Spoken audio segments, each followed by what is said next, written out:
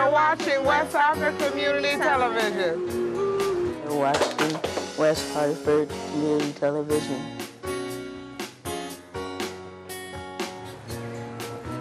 You're watching West Hartford Community Television.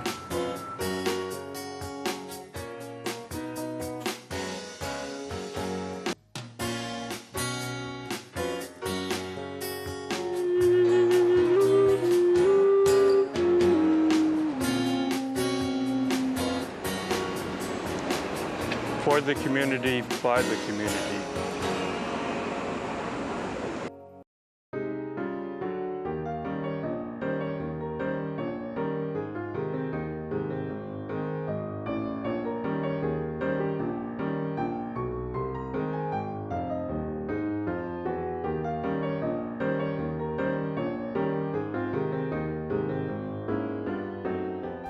Good evening. Welcome to As I See It, A Blind Woman's View.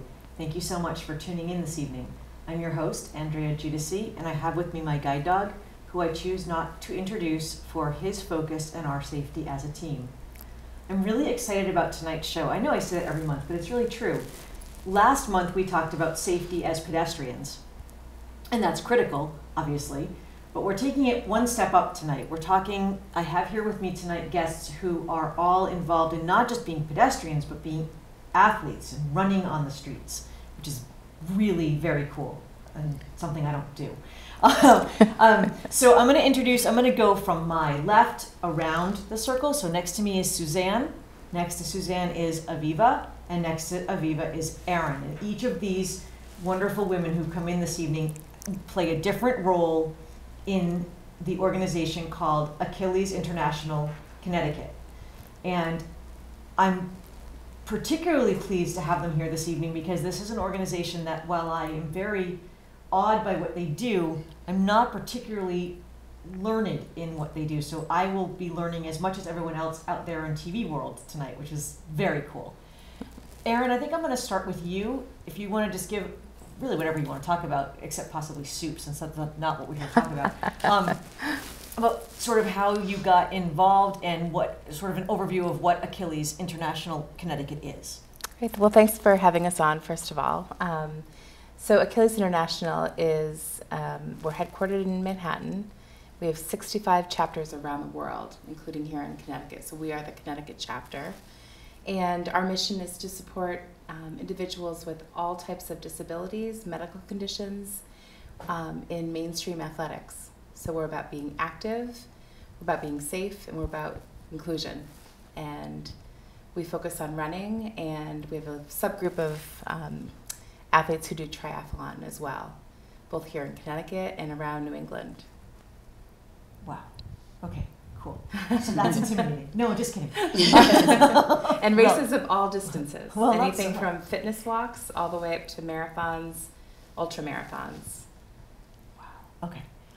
That is amazing and awesome. How long have you been with um, Achilles here in Connecticut, and how long has this been an organization that's been in existence? So, good question. So, it was actually founded in, again, in New York in the late 70s. And then here in Connecticut, out of Gaylord Hospital in the late 80s, so about a year later, or a decade later. Wow, that's really cool. Right. So we've been kind of in and out of activity in the state of Connecticut. I got involved myself um, about eight years ago. I had a head injury, and prior to that, I was a big runner, triathlete, and I was doing all my rehab at Gaylord, where again Achilles started. And someone handed me a brochure and said, "This is a way you can get back into being active."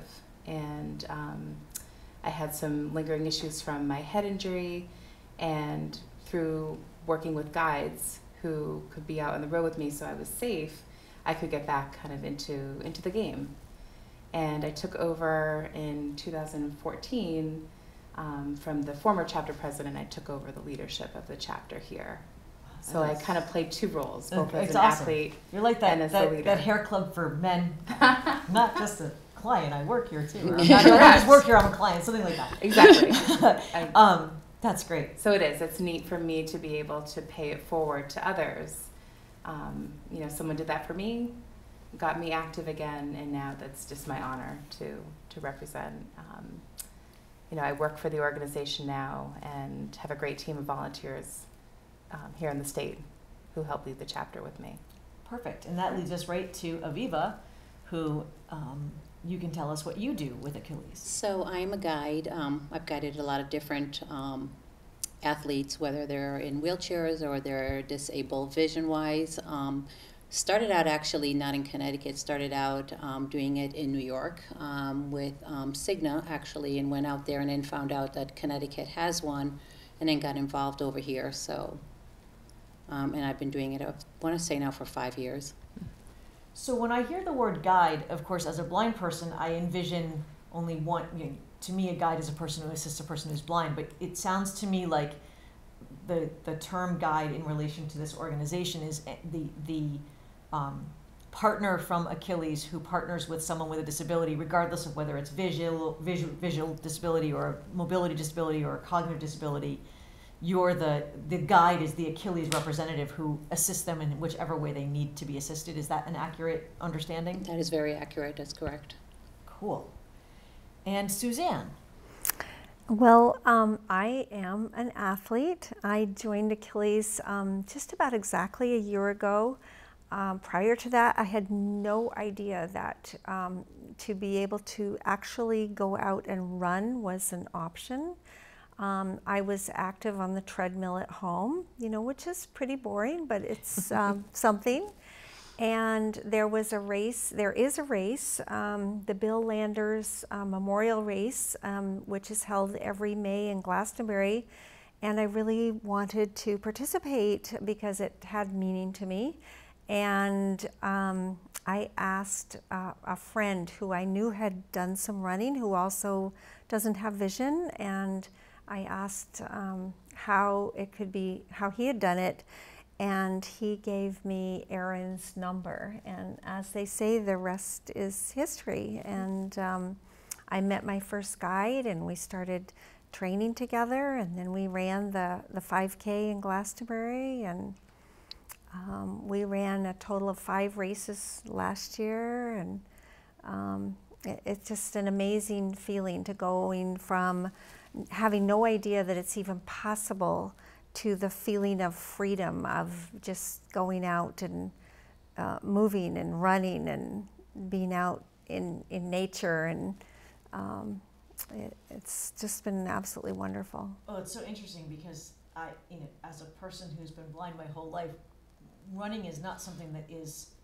My lizard brain jumps up and says, "Do not do this because anything that you bump into hurts more." when you run. right. And the few times that I've ignored that, I'd say more often than not, it's ended up exactly as I suspected. It hurt a lot because I mm-hmm. encountered something. Um, and then even when I'm in a place like I've, you know, I've been on a beach where there's like no lifeguard stands and there's no people and, and I'm with someone I can really trust and they say, just run. And I'm like, yeah, I don't even know I can make myself do that if I have to because it's everything inside goes, no, no, no, do not run. Running is not safe. Um, so it, it's so interesting to hear you talk about that because I, I know what you're saying. Like, it, it's, um, it almost seemed like a totally like a non-option. Exactly. Not even something I considered and said, oh, I'd rather not do that. It was, it's more like a, that's just not something. It's like saying, you know, go read that book in print or something. It's, it's it just cannot be done. um, so this is really, really interesting because I sort of had this idea that maybe everybody involved, like they, like Erin, they'd been a runner, they already knew what they were doing, they already loved to, to run, they thought it was the best thing ever, and then they stopped being able to do it the way they did, yeah. so they were just looking to start again. But now you're telling me that that's not the case with a lot of people. They're just decided to start this for some crazy reason just to do it and are and are enjoying it and being able to do it, and that's really exciting. It uh. Both of those things are exciting. Andrea, when I'm talking to athletes, you know, I think that's one of you know, the things that amazes me the most, you know, when I ask to tell their story and how did you find Achilles and how did you hear about us and what made you take that step? And I hear a lot of that kind of fear. You know, they're they're they want to be active. Maybe their doctor told them they had to be, um, or they've just you know want to challenge themselves differently or set a different goal or find something that's meaningful, like Suzanne said, and but they just don't know how. So that's where we can come in and you know we train the guides like Aviva. Um, you know there's a there's a whole process um, that they go through so that they can literally be, you know, the eyes or the ears or the balance or the leg or whatever it is for that athlete. They're meeting them where they're at and they can be safe and, you know, they run together. And I think, you know, I won't put words in your mouth, Suzanne, but there's trust that develops and there's friendship and, you know, the, yeah, and it's it's just magical to watch. Mm-hmm. Yeah, absolutely true. Mary Drake was the the first guide who came out to train with me, and I run with a tether. It's it's actually just a hairband, but that's what we use. And she said, "Okay, well, this is how we do it." And so we went down to the street, and she says, "Okay, well, let's go." And it took like total faith, and um, it was a little terrifying for me to just start running. It's like I haven't, you know, moved like this.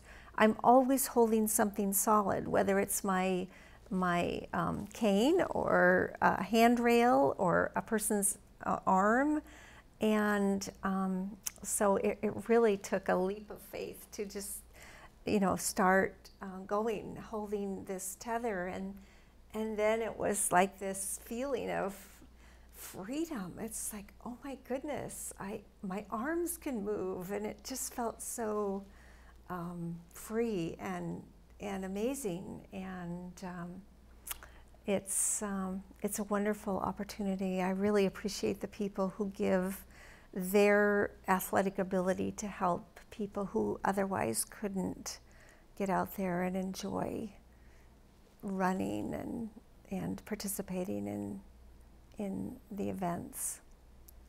That, that's that's so cool. I, I'm sitting here thinking, I'm not even sure. Like, I you, listen to people talk about running and they talk about form, and I'm like, I, I don't even think I. I mean, I obviously, I can. I know, like, if I had to run, if there was like a bear chasing me or something, I'm sure I could run. But like, I can't even really like. like I'm sure I run like you know a toddler or something like because running is just not something I do. You know, maybe I guess I probably did as a little kid when you don't have any fear when you're a kid. You just run around and you bounce and it's all good. But um, certainly not as a, a grown up have I run very very often. So it's interesting to think about like even learning how to run um, technique wise.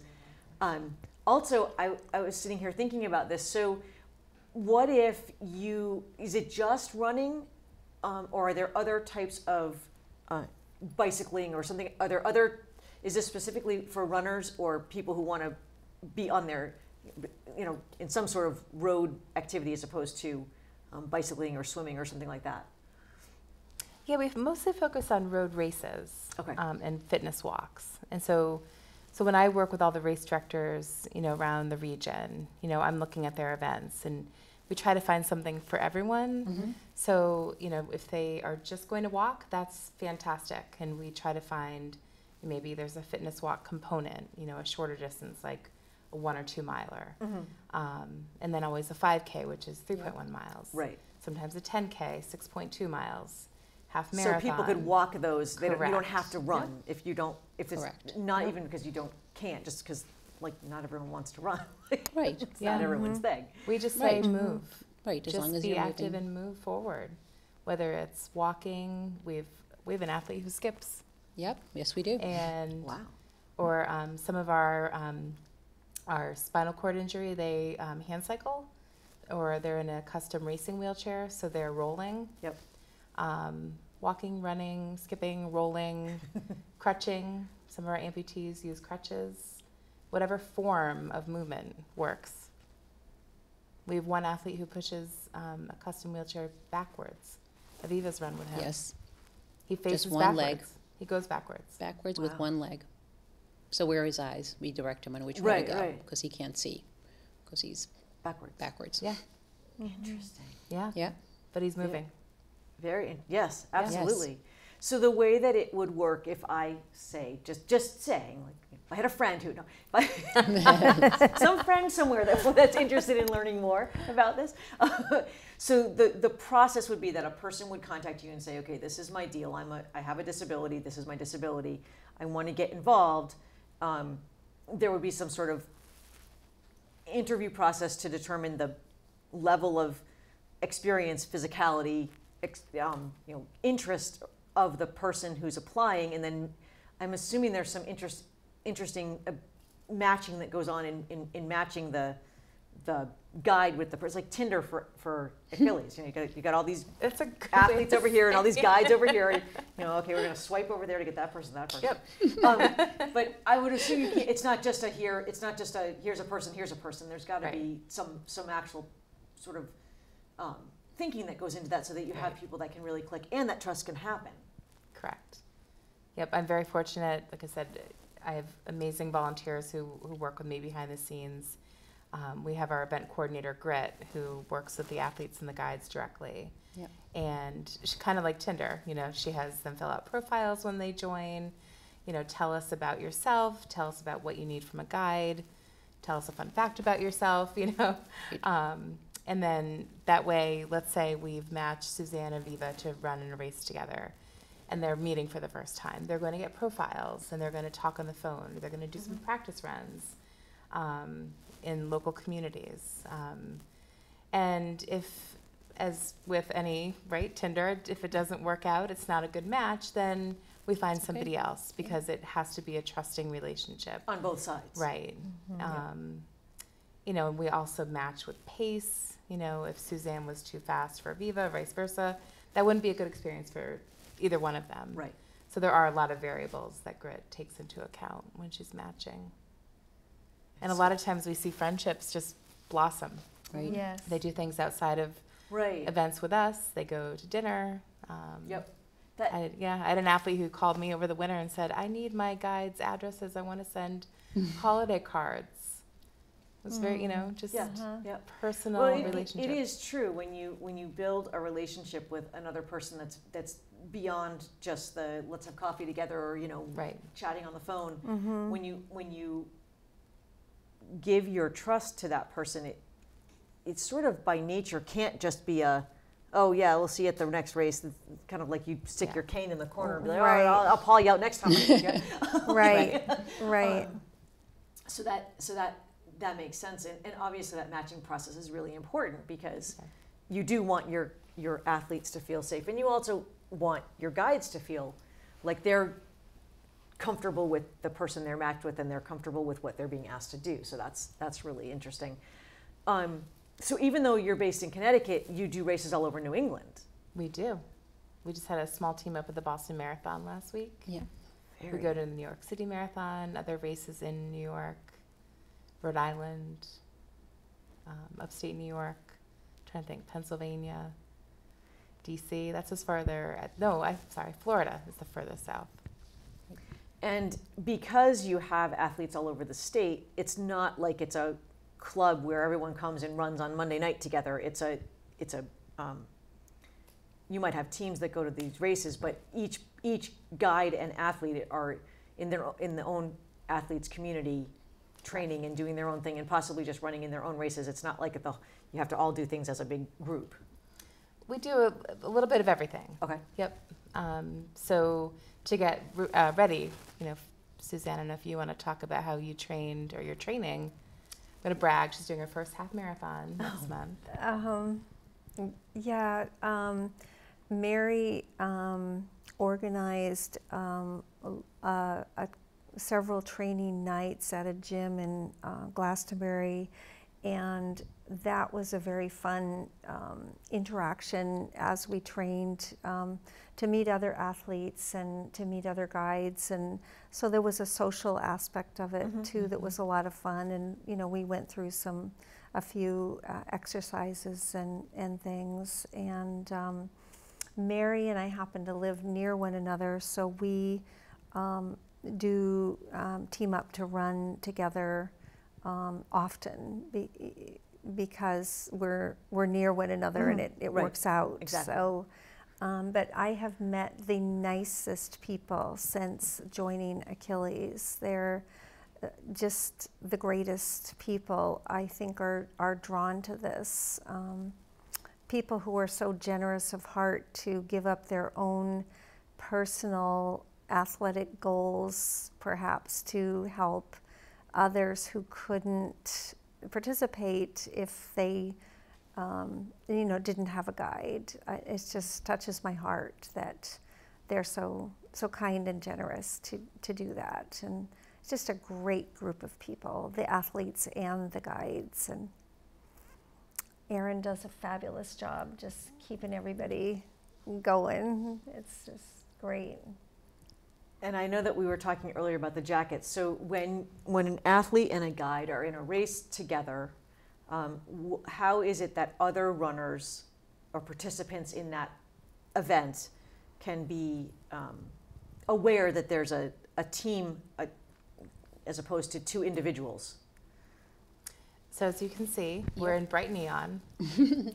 And some of our shirts says guide, the other one will say an athlete or visually impaired or blind runner. Yeah, Um, and I think a lot of races, they're beginning to know, because we get a lot of cheers that to go Achilles, people are quite aware.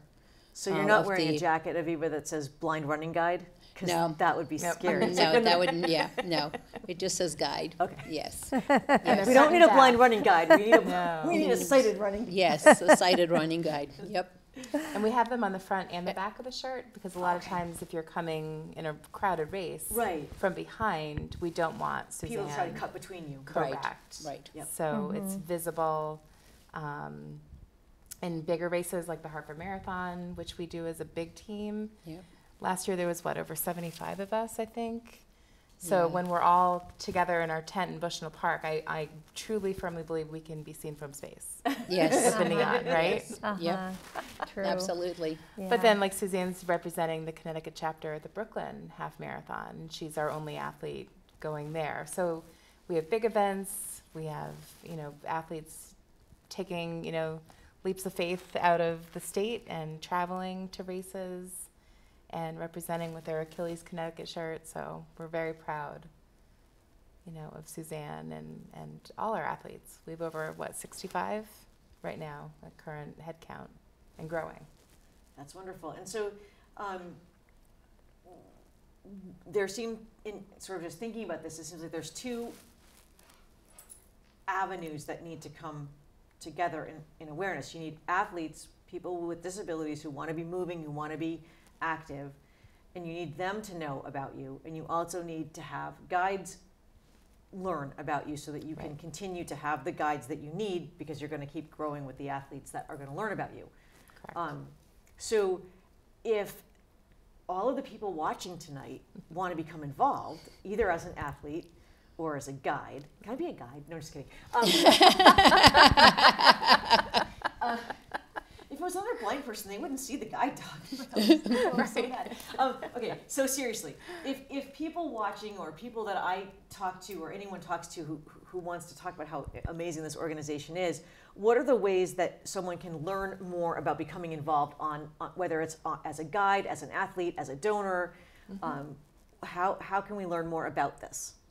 So we do have a website, um, www.achillesct.org. And we have all of our information about the team, about athletes, the whole section on athletes, guides, um, applications are online, um, all the events that we do throughout the year. We start in April, we end in November, and have probably, I think this year, about 12 different races that we're doing. Um, including our own, which is in July. Uh, we kind of shine the spotlight on athletes um, of people with all abilities. It's in Bloomfield, and uh, it's just a way, a great way to showcase you know, the fact that anyone can do anything they set their mind to. So tell me a little more, like when is that race and what is it called and, and um, Yeah. things like that. Um, it is the the official name of it is the Achilles Connecticut Hope and Possibility, presented by Cigna. They are our presenting sponsor. We're grateful for their support. Um, it's a 5K, 10K, 1.5 fitness walk, kids run.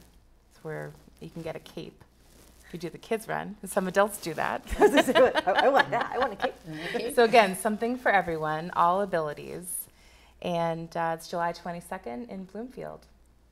That is really, really awesome. Yep. Hartford Marathon is our race director, and you can register on the their website, hartfordmarathon.com. And I know just from our conversation before um, we, we started taping tonight that you work with I'm sure a lot of organizations and gyms, but particularly I, I, I, the one that is familiar to me is Chapter 126. Right. Um, and we actually, I actually had Kelly on the show. It seems like 100 years ago, but it was probably only about a year and a half ago. um, and so, what a great partnership because having an accessible fitness center just works so in, in, in partnership with what you're doing. Right, and so obviously we live in New England, so we're not as active outdoors during the winter. Right. So, right, partnerships with Chapter 126 or the gym um, that Suzanne mentioned, Connecticut Sports and Fitness in Glastonbury, YMCA's all around Connecticut we partner with, and so our athletes can stay active indoors.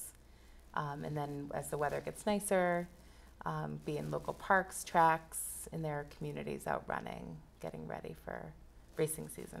Yep.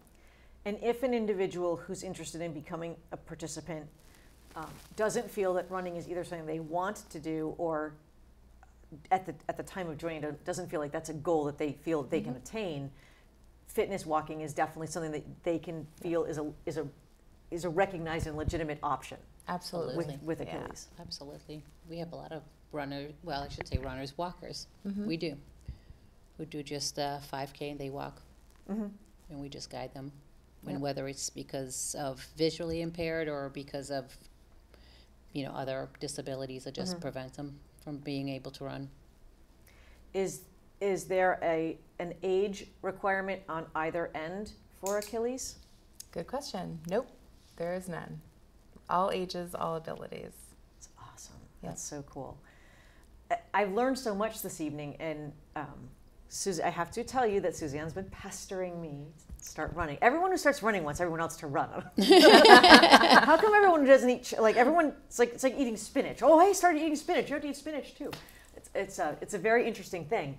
Um, but Suzanne is the first non-sighted runner that I've known that's been doing this to me. I always could be like, well, I don't have to do that because that person can see, so I can just ignore them. Uh-huh. But I can't do that so much with Suzanne.